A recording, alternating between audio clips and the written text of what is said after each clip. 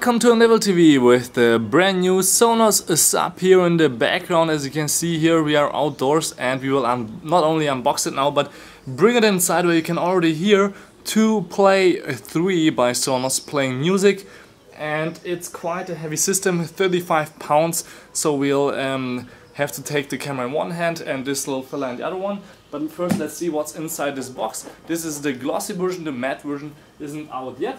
And on the back you can actually see that it's of course um, able to connect to the Play 3, the Play 5 and you need the Connect amp to use more than one Sonos device in your Wi-Fi network. So that will um, set you back another 100 to 200 bucks depending on where you will buy it. It tells you again here, watch out when you take it out. It's 35 pounds, 16 kilograms, so quite heavy we have first a quick start guide here inside the box and maybe you can see it even though the weather is really uh, nice that it's really easy to set up just plug it in um, uh, hit the connect button select it uh, select a, a, new device from your Sonos um, device like an iPad or iPhone or any other other Android device for um, connecting and then you're all set up. It's quite easy, we already did all that and on the back it tells you again watch out when you take it out but you can actually use it even lying on the ground so that's quite nice and we will show you how good the sound is in just about one or two minutes. Then we have a product information guide in different languages with telephone number and FCC information for example.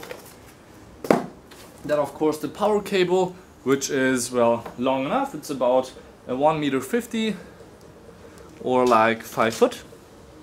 Then we have a few rubber, and they're not rubber feet, they're just feet, so if you use it lying on the ground like that, you can protect the surface, which is of course in this version glossy as I said, and that's quite nice by Sonos. And then we have the device itself, which is really quite heavy, but there's nothing else inside the box. So let's take a look at how this little bad boy looks like. It will not come in white, but as I said, in a matte version, and there we are.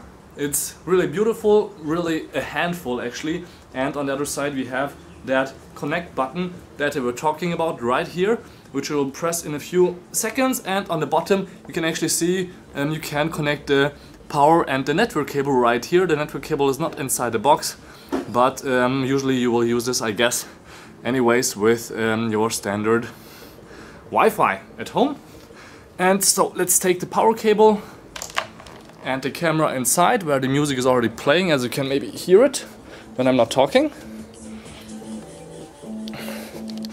So we have a play 5 here on the ground so you can see the size comparison.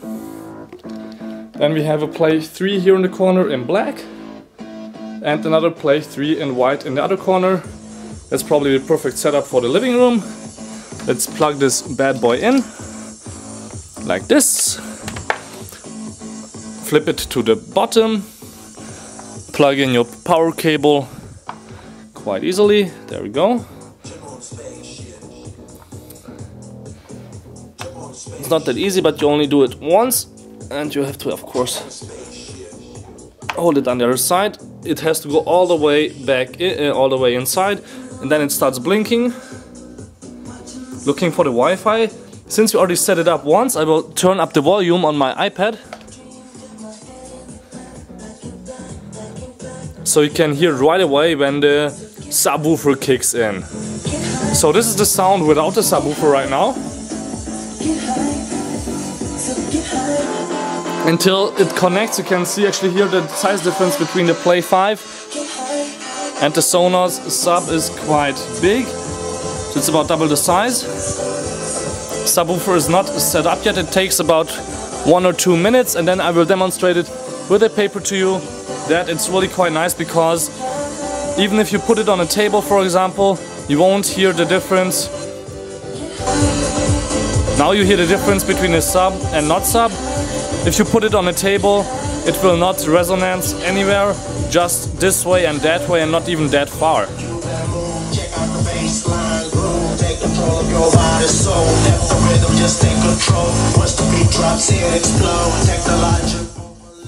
That was the maximum volume and now I'm just going to show you with this little paper that it's really